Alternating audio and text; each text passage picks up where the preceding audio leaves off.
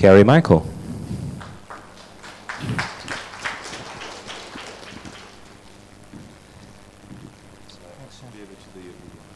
Hello everyone, I'm Kerry Michael. I'm the Artistic Director of the Theatre Royal Stratford East.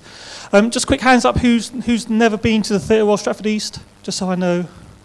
Oh, oh okay, fair enough. Um, we're a theatre in East London and we have a couple of... Um, that's great, that's right, just, just get, get, it, get, it, get it going. And just turn it down a bit. Um, I'm going to play a video and talk on top of it.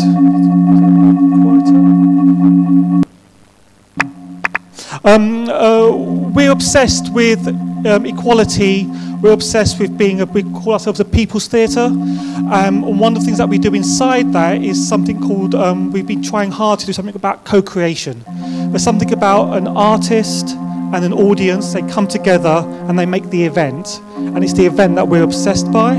Um, I've been inspired by um, lots of work in Brazil. Um, there's some people here who work in People's Palace projects who are Rosie and Andre do a lot of work in Brazil and know, they know it much better than I do. But I was out there and we did something which was called home theatre. And we got that model and we brought it to London. And basically what we did was we co-created 30 pieces of work in 30 homes across London. And what we explored was the notion of um, stories, the notion of stories in London. Um, and by the end, we got a landscape of how London felt through these stories. The other thing that was interesting for us was that we worked with actors in London who were being artists. And in London, you've got an actor who needs to be told what their script is, they need a director. But we had to explore how an actor in London becomes an artist and makes their own piece of work. Um, and also, when we were exploring this work, we also had to kind of understand um, how we listen to our audience before we even do the show.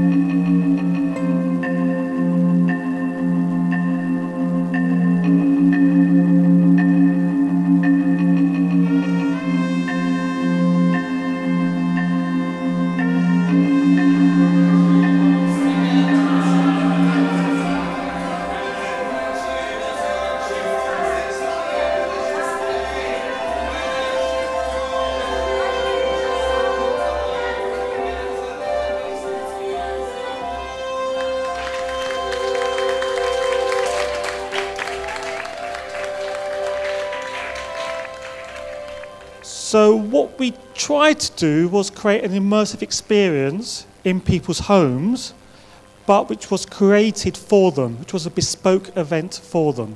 That was what we were trying to kind of do there. Um, and what was interesting, mostly for us, was the power between us as the artist and the audience, and the equality of that power. And the reason why the power was equal was because we were going in their space, we were going in their homes. And you, you, saw there one of the things that we called it a gift. We were giving them a gift. And what was interesting working in Brazil and in London, when we went to and asked them why do they want this work, we got a whole range of different reasons why people wanted us to do home theatre in their homes. And it went from, um, I've got three children, I can't afford to go to the theatre, I want to give them some entertainment, to that hospital down the road doesn't care for my sister properly and I'm really angry with the politicians for not caring for her, to my mum's sister is dying and they haven't spoken in 20 years and I want something to help heal the wounds of those two people who I love. So a whole range of people were trying to come to us to, um, uh, for, to use our art to achieve something in their lives. And one of the most profound things that we found was, which I think is interesting for this conversation, was um, because we were doing the work in their homes, their home was forever changed. The memory of their home, the memory of their front room would never be the same again because we'd infiltrated it with a piece of work about something that was important to them. Uh, so we did that um, and we are planning to do it again next year with the funding from Gulbenkian. I'm also looking at doing the same idea in cities across England and see how we can sort of put them all together. The other thing that was interesting was that we had 30 filmmakers with us. We had 30 filmmakers filming the 30 pieces of theatre, and all 30 pieces are online. And we had a very naive attempt in trying to capture the, the work digitally. And I think the next stage for us is how we make the digital experience an interactive experience for the people who experience it in their homes, if that makes sense. Um, as well as as well as letting everyone else have a sense of what all the pieces were. Um, so that's kind of what I'm interested in um, going forward. Um, yeah, and, the, and just the last bit is we've done a, we've done a huge amount of work outdoors. We've done a, we've done quite a lot of work with lots of international companies doing work in our streets.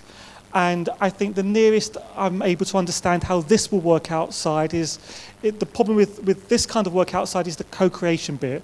Yep, there's flash mobs, there's, there's, there's us doing stuff in people's streets, but the bit I'm interested in is how we can, create, we can co-create something in people's streets that they have an ownership on and then create a piece of work with them for them. And that's the kind of challenge that I'm up for. Thank you very much.